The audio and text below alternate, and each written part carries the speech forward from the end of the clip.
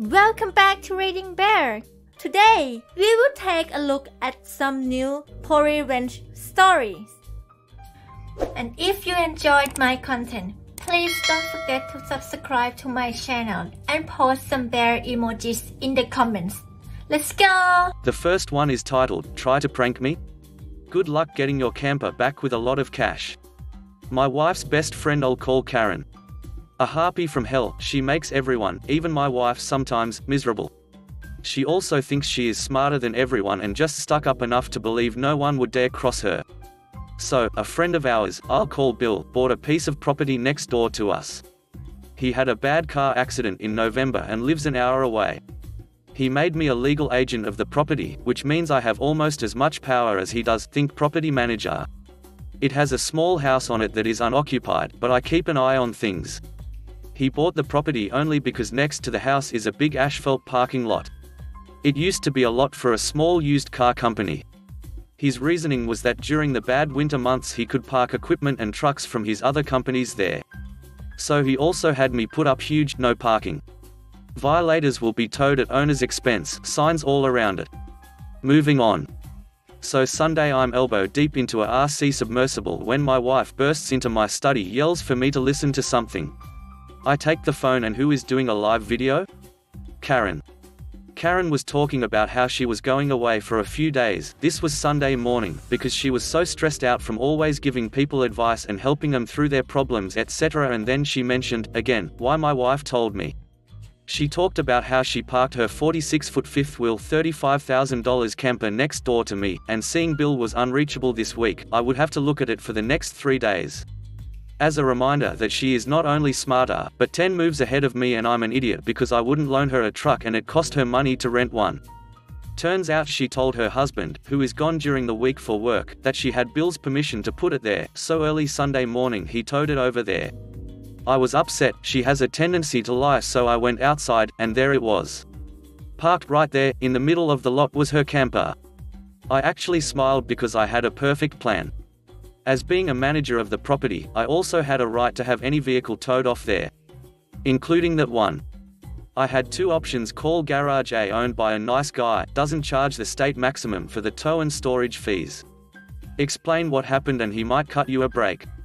Then there is Garage B he doesn't care if he has to tow your car 15 feet, he is charging you the max and always charges the maximum storage fees.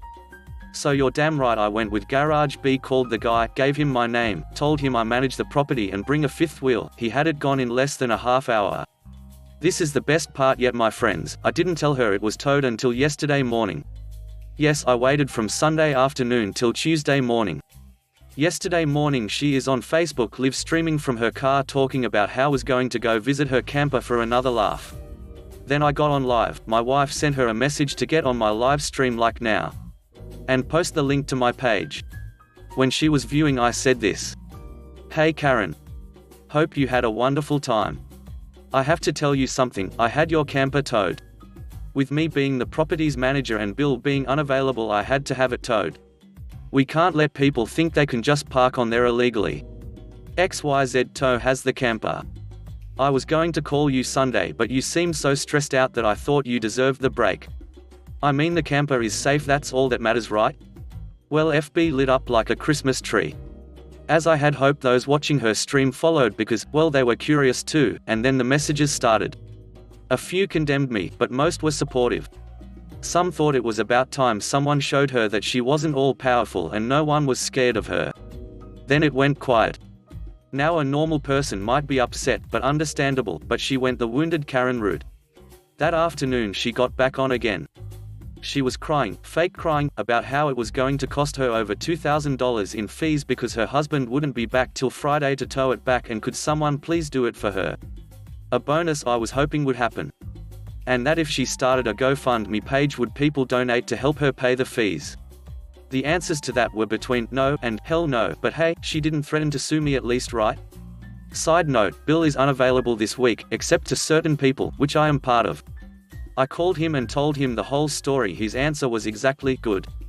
You want to play games then be prepared to lose, the camper is still there. No one volunteered to get it. A few said they would for gas money, but she tried to play it off as it would be helping her and she owed so much in fees and that she would owe them a favor. A favor no one could collect on because she has nothing to bargain with. The next one is titled, The owner is painting this unit, I know that's what I'm doing. So I'm remodeling the four units on the second floor of an apartment building I own. I subbed out the painting for three of the units, I'm working in the fourth. I hear the painters arrive and greet them at the top of stairs.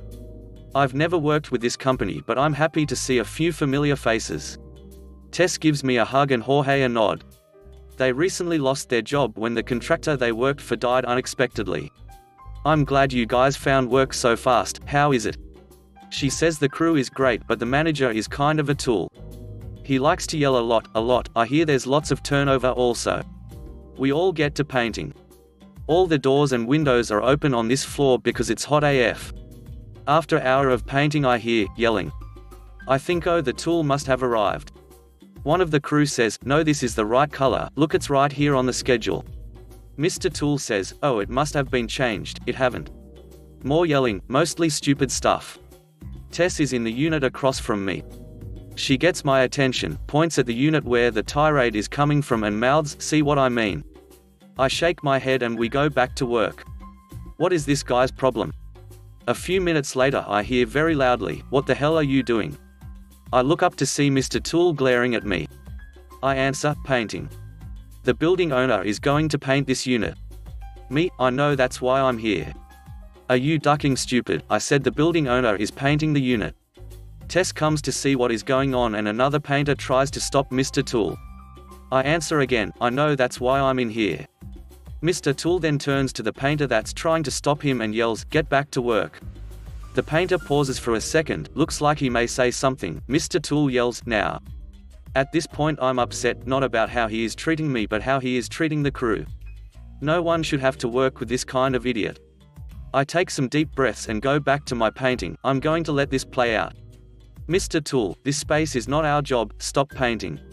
Has anyone ever told you that you're really loud? Stop painting me, see what I mean, very loud. Maybe you have a hearing problem. Listen Tard I'm not paying you to paint in here.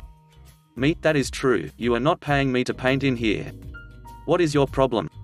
Me, I don't like loud buttholes that yell at people for no reason.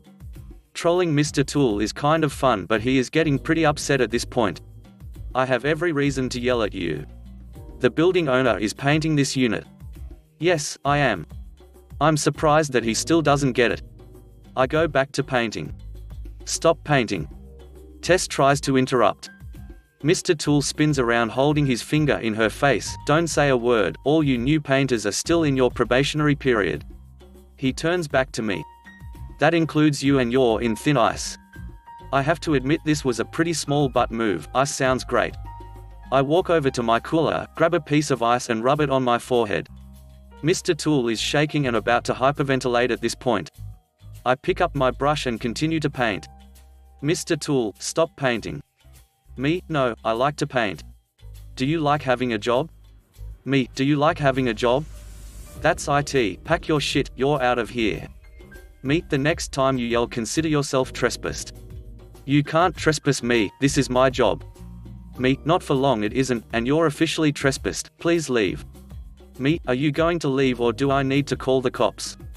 Mr. Tool stands there for a minute, confused.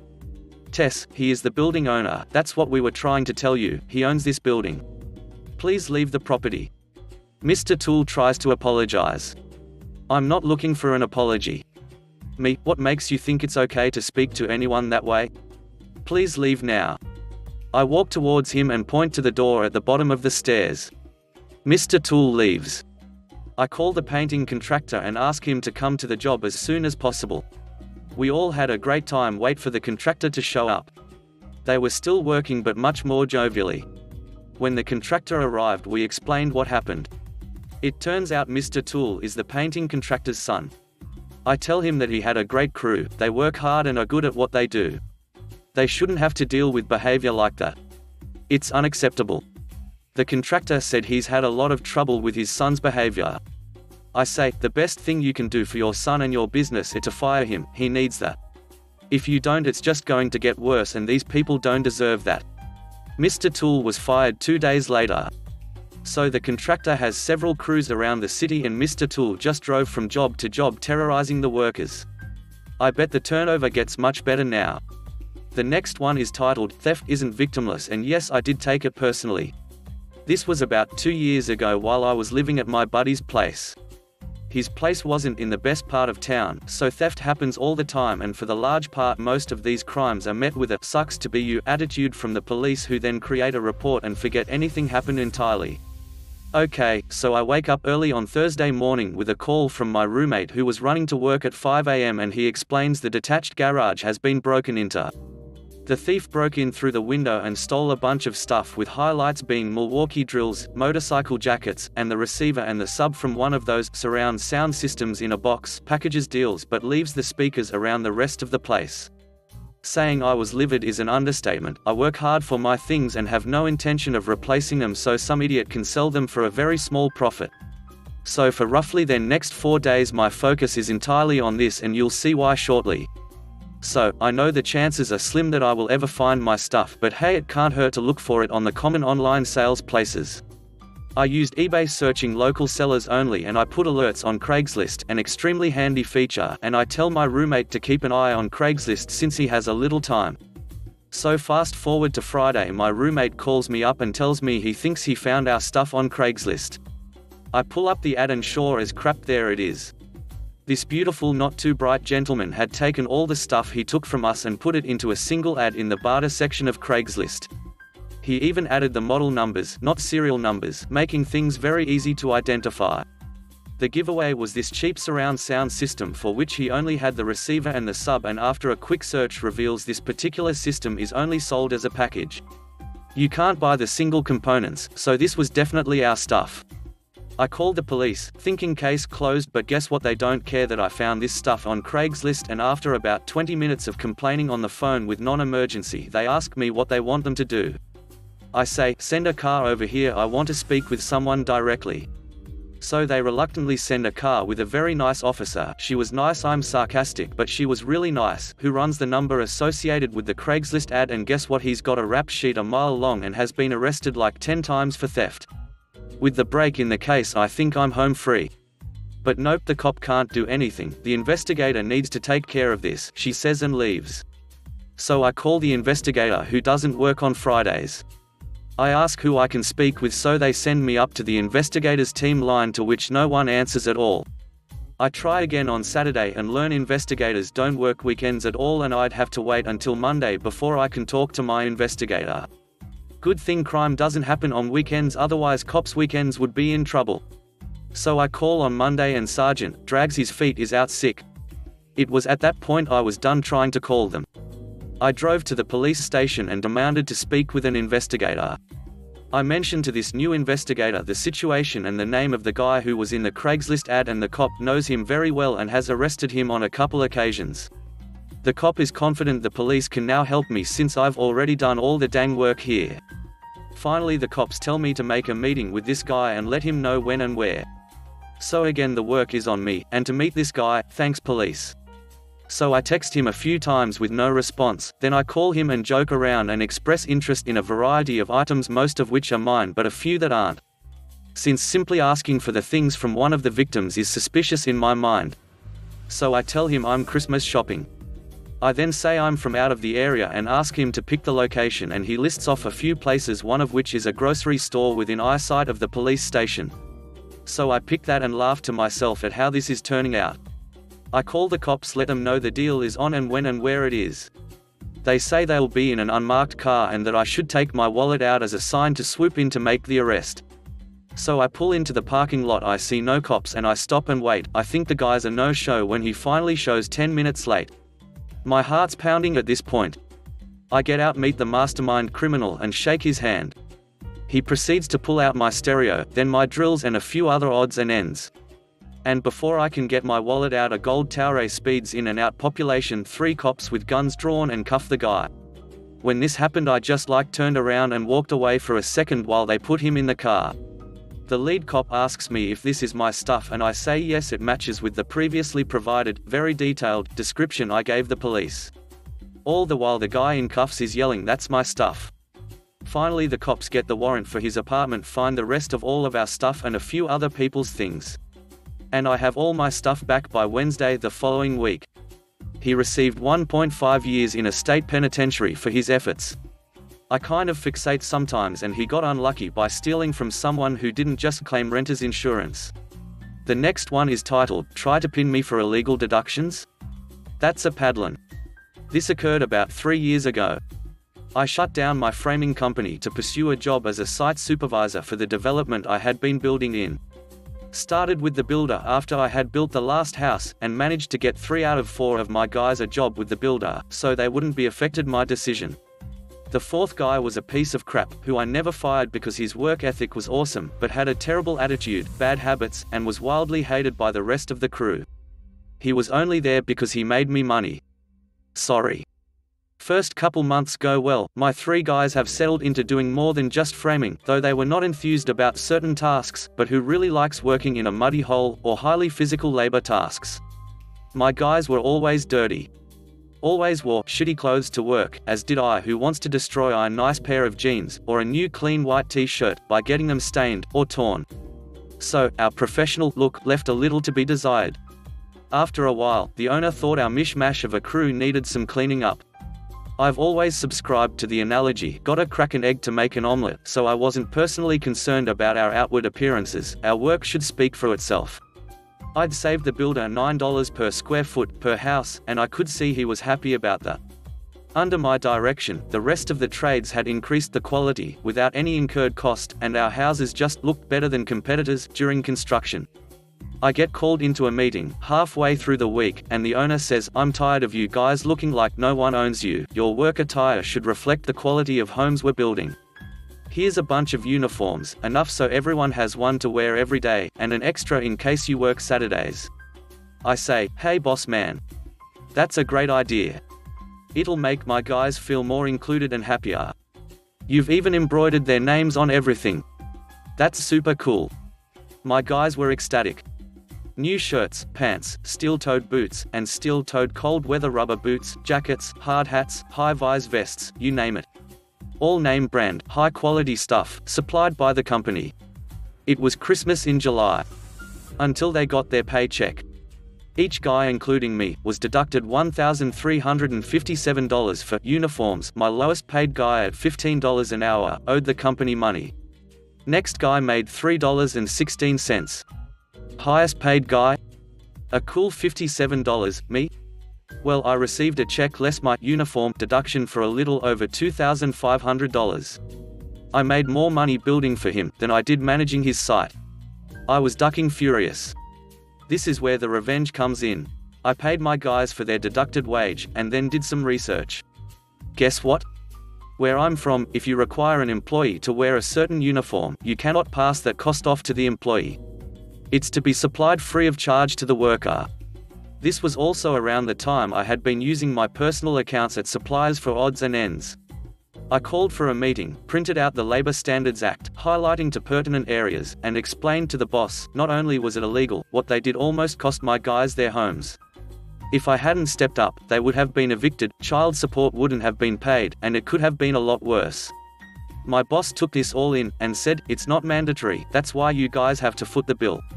I said, okay boss man, my guys can't afford to drop $1,357 on work clothes, so I'll have everything returned, most of it has never been worn, you can return what's still new, I'll pay the difference. We all went back to work, wearing our torn jeans, ripped shirts, and stained jackets. Problem solved right? Nope. I was fired two days later. Since they were my guys, that meant them too. So rather than tell the guys what happened, I told them to roll up all my tools, and anything I had paid for, take Friday off, and I'll let everyone know what's going on over the weekend. Started backup framing that Monday, for the competing builder. But that's not where it ends. I filed a complaint with Labor Standards, filed a builder's lien on the 15 properties I had been managing for unpaid expenses and waited. When he refused to acknowledge any claim against him, I escalated to lien his personal home. I had done $25,000 worth of work to his home, which was to be paid after the sale, plus an extra 10% for waiting. That really got his attention, as his house was sold, pending the closing of the buyer's own property. The lien made it so he can't sell, without paying me out first. I ignored all calls, except from his lawyer, and he essentially shut down business, and blames me for doing so. Long story short, I got my money, but to this day refuse his $25,000 for payment as it lacks the 10%, plus 3% per month late charge. He could sell his house, but he refuses to pay me out. Owes me about $56,000. Duck that guy. The last one is titled, and he ain't gonna jump no more. This story goes back to when I had first joined the Army, 1995. As a new soldier out of basic I was sent to Fort Benning, Georgia for my first three-year tour. There I met the training sergeant of my unit whom I will call Sergeant J. Sergeant J was your typical buck sergeant, first grade of NCO that separates non-commissioned officers from lower enlisted ranks. Now while not all buck sergeants are jerks, there can be a few that let the sudden rush of a little power go straight to the head. This was Sergeant J. I had attended airborne school, parachute out of basic and I could not secure a posting with the 82nd write-off so elected to do a tour at Benning in the interim. This was at the time rare because most soldiers that attend the airborne course either go to a jump posting or are acquiring jump training for a specific job, special forces, rangers, etc. Sergeant J off the bat did not like me for whatever reasons I still to this day cannot explain. He took every waking opportunity to make my young life very miserable. I think it had to do with me being airborne qualified as I had come to learn later he had tried several times to go, but washed out for whatever reasons. Now let me get to the story. Sergeant J was married. This I knew in passing conversations but had never met the gal. Q two months after I had arrived. Sergeant J came into the battalion HQ where I was on duty for the day. With him in tow was what I had assumed was his wife. I rendered the proper greeting to him and then said something to the effect of pleasure to meet your wife sergeant. Only it wasn't his wife. And my young self was unaware of this. It was his girlfriend he was cheating on his wife with, and I had just unknowingly let the cat out of the bag. To top it off she did not know he was married. Cue the ensuing shitstorm that basically ended his marriage, but not his military career. I knew I was somehow going to be doomed and that came in the form of his managing to get me on a year-long deployment to Kuwait. Now to some this would not have been the ideal thing. It wasn't for me right off the bat until learning that my enlistment bonus would be paid out while deployed which thus resulted in it being paid tax-free. I wanted to travel to see places as well so it turned out to be a win. Now to the revenge. During this deployment of a year I went from private first class to corporal, which is one rank before buck sergeant. I was offered to stay on another year in Kuwait which would afford me the opportunity to advance to sergeant. I took it and made my rank. Once this second year was over I came home with my stripes and returned to said unit. Sergeant J was still there and newly promoted to Staff Sergeant which is the next grade. To add to this he finally got his request to go to airborne school. Through the grapevine I had learned that Sergeant J had a hidden penchant for marijuana, which of course is a no in the military.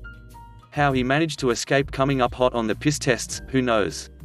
In a twist of fate the unit's sergeant in charge of scheduling and administering the drug piss tests was leaving for another posting. Seeing my opportunity I jumped on this, requesting through my first sergeant to take on this responsibility. Now there is no set schedule for these tests to be administered, and are generally scheduled on the direction of the unit commander. We were coming up on our mandatory brigade compliance and I knew that there was this concert event coming up that he was going to so, I scheduled a surprise test the morning after the concert. No one outside of the direct chain of command was aware of this test. Q the next morning everyone is lined up drinking water and getting ready for this drug test. I can see Sergeant J is sweating bullets. A day later I get the results of the unit test and lo and behold, Sergeant J has not only come up hot for marijuana, but cocaine as well. Long story short, his 13-year career came to a very very quick close. Court-martial, loss of rank to private and a dishonorable discharge from the army, and no coveted parachute school for him. And I have lost not one day of sleep. Thanks for listening.